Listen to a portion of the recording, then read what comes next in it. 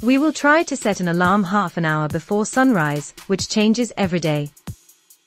Google gets weather data from Weather Underground website.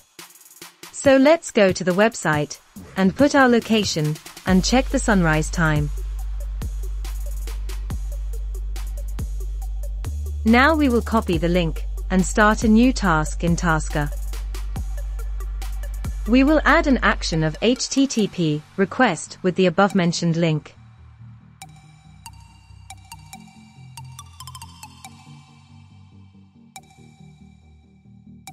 We will store the data in a text file called weather.txt. An action to read the text file and store it in a variable called %weather.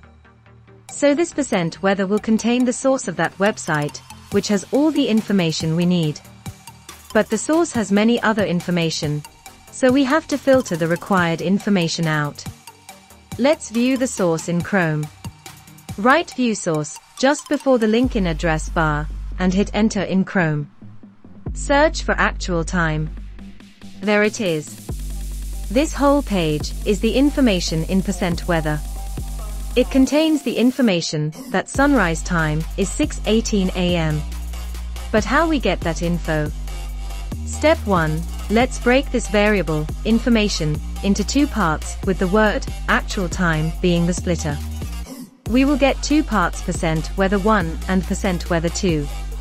Percent weather 2 has the required information. Let's break percent weather 2 into two parts with splitter data point. We will get percent weather 21 and percent weather 22. Percent weather 22 has the required information. Let's split percent weather 22 by the word span. It will split percent weather 22 into percent weather 221 and percent weather 222. Percent weather 221 has our information. Dot you see there are still some extra information in percent weather 221. Let's apply variable section and keep only from third letter and length of the variable in terms of letter to 4. We will again split the new percent weather 221 by and get hour and minutes separately. Let's make variables. First part of percent weather 2211 will be renamed to percent sunrise hour, and second part percent weather 2212 will be renamed percent sunrise min. Since we want to add an alarm 30 minutes before sunrise, let's do math and subtract 30 minutes from total minutes to get the total alarm min for alarm in a variable percent total min for alarm. Dividing it with 60 will give the hour for alarm in decimals, i.e. percent alarm harak. We will have to split the result with decimal. We will get the first part, i.e. percent alarm harak 1 as actual alarm set as percent alarm hour. And the second part, i.e. percent alarm harak, 2 multiplied by 60 will give the minutes for alarm set as percent alarm min. But since it should have contained decimal or whatever, we will keep only first two digits by variable section.